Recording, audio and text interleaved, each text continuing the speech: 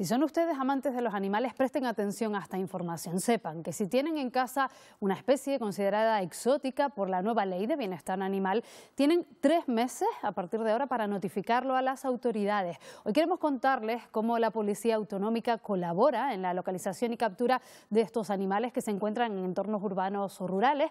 Y recientemente los agentes han recibido formación de la mano de la Fundación Neotrópico. Hoy se encuentra con nosotros su presidente, Jaime Diurioste. Muy buenos días. Muy buenos días. Y también está con nosotros Omar Encinar, del Grupo de Medio Ambiente del Cuerpo General de la Policía Canaria. Muy buenos días. Hola, buenos días. Bueno, empezamos contigo, Jaime, que te tengo aquí sentado a mi lado. ¿Qué eh, modifica esta nueva ley de bienestar animal que entró en vigor el pasado mes de septiembre? ¿Qué supone en lo que se refiere a especies exóticas, invasoras, protegidas? Bueno, la verdad es que hay, cambios importantes. O sea, por lo pronto, todos los animales mantenidos como mascotas tienen que ser eh, marcados, o bien con anilla cerrada o con microchip, y registrados en los registros municipales de, mascotas. Eh, eso implica también que, pues, que hay que actualizar esos sistemas de, almacenamiento de datos, pero en todos los ayuntamientos ya se están poniendo, se están poniendo con ello. Hay además una serie de animales que han pasado a estar prohibidos, como por ejemplo están prohibidos todos los invertebrados, anfibios eh, eh, y reptiles que sean venenosos. Eh, también están prohibidos los reptiles que de adultos pesen más de 2 kilos exceptuando las tortugas. Están prohibidos también los mamíferos silvestres que de adultos pesen más de 5 kilos, o sea que al final queda todo muy, muy, muy restringido. Y estamos pendientes de que se publique eh, un listado positivo que es lo que va a simplificar mucho la interpretación de la normativa, porque es una normativa amplia, compleja, y bueno, eh, ese listado lo que va a hacer es que todo lo que esté en ese listado está permitido y lo que no esté o está prohibido o requiere una autorización especial. Digamos que las personas que quieran adquirirlo no lo podrán hacer, esas, limitaciones que, estabas comentando, quienes ya lo tengan en casa no tienen por qué desprenderse de ello. Exacto, como, como, casi toda la normativa, cuando tiene un carácter restrictivo, no tiene carácter retroactivo. Eso significa que eh, si ya tienen ese tipo de animales que pasan a estar prohibidos, tienen hasta finales de marzo para registrarlo y decir, mire, este animal está aquí, se pueden seguir quedando con su animal, pero con la prohibición de venderlo o cederlo, de reproducirlo, evidentemente, y de, transportarlo. Entonces, esos animales se pueden quedar en los domicilios particulares hasta que acaben sus días de forma natural. Pero es imprescindible registrarlo. Que quede eso, digamos, con luz y taquígrafo, ¿no? todo, en orden. Eh, ¿Han notado ustedes que desde que entró en vigor esta nueva ley se hayan producido más abandonos? ¿Han encontrado más especies, animales de estas especies en, pues, en entornos urbanos, en los parques, en la calle? Pues sí, desgraciadamente hemos visto un aumento muy significativo eh, y además de especies relativamente comunes, eh, yo creo que muchas veces es una cuestión de, falta de información o de no saber leer la normativa y mucha gente piensa que han pasado a estar prohibidas las cobayas, las chinchillas, los agapornis, los periquitos. No, no, no, esos animales simplemente hay que registrarlos y se pueden mantener y después veremos si están en el listado positivo o no. Pero aunque no los tuvieran, ya digo, simplemente es registrarlos y se pueden, pueden seguir manteniendo. La avalancha es brutal, entre tortugas de agua, eh, ya digo, periquitos, cotorras ninfas, muchísimos ejemplares eh, aparecen cada día, o bien abandonados o incluso son entregados, ¿no? Pero están apareciendo eh, sapos, caracoles, bueno, una, una, serie de animales que desde luego no, no deberían estar liberados en medio natural. Claro, para eso ustedes colaboran, decíamos, trabajan conjuntamente con, la Policía Canaria en este caso. ¿Han recibido ellos eh, una formación? ¿En qué ha consistido? Bueno, cada año eh, a las nuevas promociones eh, y después hacen cursos de especialización, se les da formación sobre la interpretación de la normativa y sobre la manipulación de animales potencialmente peligrosos o especies exóticas invasoras o, especies exóticas para que cuando ellos en sus intervenciones diarias se encuentren con estas situaciones sepan cómo actuar y, y, bueno, y puedan reaccionar con seguridad para ellos, para los animales sobre todo para la población. Tenemos también a Omar Encinar, lo presentábamos hace un instante, del Grupo de Medio Ambiente de la Policía Canaria. Omar, ¿cómo ha sido esa formación? ¿Cuántas personas la han recibido y de qué manera? Bueno, esta formación eh, se ha impartido recientemente eh, en la Academia Canaria de Seguridad a los nuevos agentes, tanto de la Policía Local como del Cuerpo de la Policía Canaria.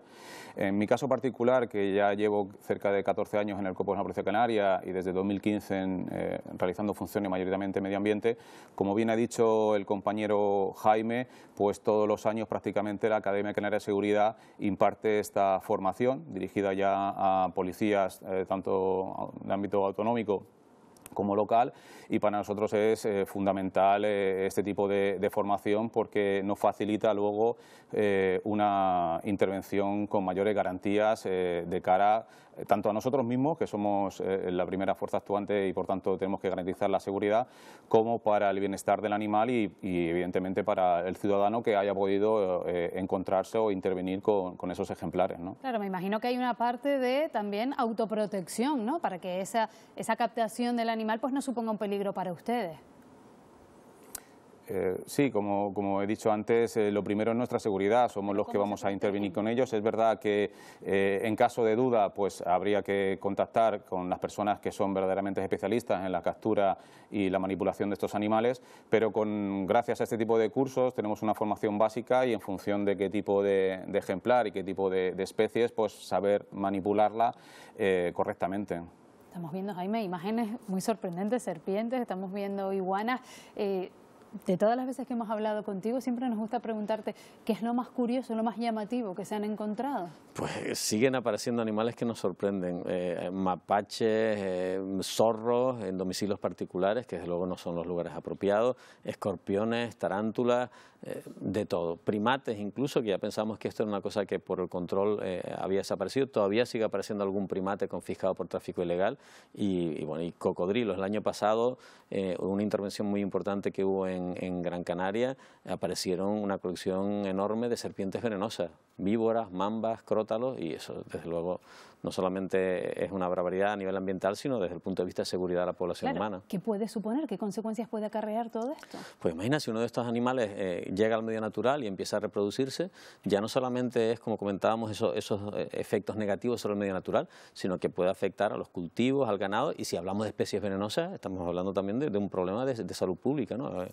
ya digo que había serpientes, víboras del Gabón, mambas, o sea, cobras, animales que desde luego no deberían estar aquí. Claro, porque me imagino además que Sanidad no cuenta tampoco con con el instrumental o con los antídotos necesarios para en caso de una picadura con un animal de, una mordedura con un animal de estas características poder atajarlo, ¿no? Imagino que es que todo eso es una cadena. Claro, precisamente ahora junto con el gobierno de Canarias estamos preparando la, creación de un banco de antídotos aquí en Canarias en vista de, las especies que están apareciendo y eso incluye también una formación no solamente al servicio de urgencias canario por el, traslado del accidentado tiene que ser en unas condiciones en concretas, sino que además formación al personal médico para que sepan cómo actuar ante una eventualidad ahora mismo no, no, no, hay experiencia. Entonces es importante que ellos sepan cómo afrontar estas situaciones.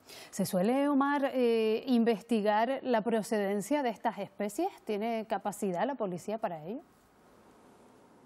Bueno, dentro del Cuerpo General de Policía Canaria, del Grupo de Medio Ambiente, prácticamente desde que se creó este grupo, como dije antes, a finales de 2014, principios de 2015, una de las principales funciones que hemos desarrollado ha sido precisamente el tema del seguimiento, vigilancia y control del comercio y del tráfico legal de, animales, eh, ya sea a través de realización de inspecciones en establecimientos que están dedicados a la venta de animales, como esa oferta por Internet que muchos particulares eh, realizan.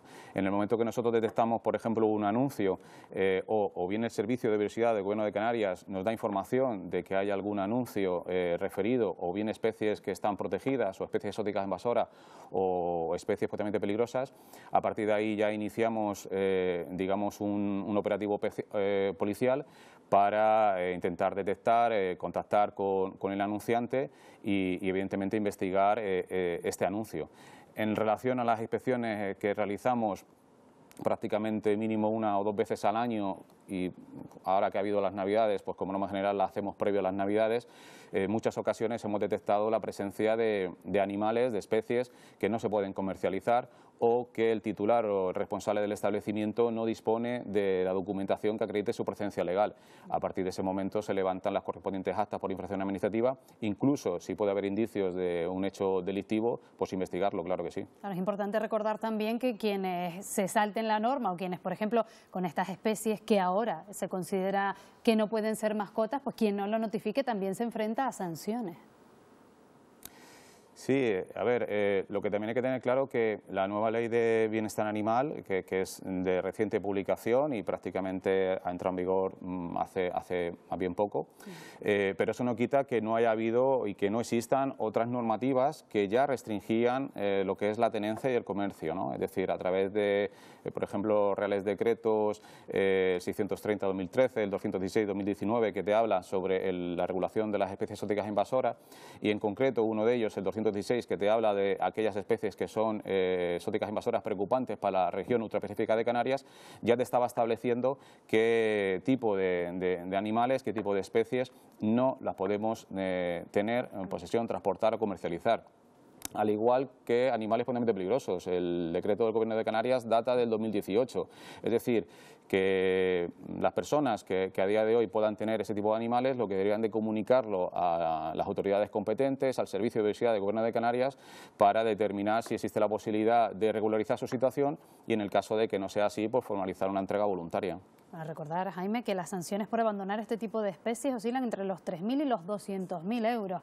Pueden ser sanciones importantes. Antes de finalizar, muy brevemente, ¿qué debe hacer alguien que se enfrente a una situación de ese tipo? Que vaya por la calle, se encuentre, pues hemos visto, mira, monos, mapaches, todos los, animales que estábamos comentando. ¿Cómo debemos actuar? Lo primero es llamar al 112. O si necesitamos desprendernos de alguno de ellos. Claro, o sea, si es una situación de emergencia, llamar al 112 y ellos activan inmediatamente al Cuerpo Penal de la Policía Canaria o, a la autoridad competente y en caso de que haya que, retirar el animal, pues generalmente en la zona de Tenerife por lo menos, eh, a la Fundación Neotrópico. ¿no? Eh, en caso de que tengan animales en estas circunstancias y que no quieran seguirse haciendo cargo de ellos, si son especies exóticas, en la Fundación Neotrópico nos hacemos cargo de ellos gratuitamente, no tienen ningún coste ni ningún tipo de sanción si se entregan voluntariamente. Otra cosa es que, bueno, que haya una intervención y ahí sí hay sanciones. Bueno, estábamos viendo el rótulo también de la web de la Fundación para, y el teléfono por si alguna persona tiene que, que acudir a ustedes. Jaime, Omar, gracias a los dos por habernos acompañado esta mañana, por habernos explicado. También pedir responsabilidad a la ciudadanía porque vemos que no es ningún juego. Muchas gracias. Gracias, buen día.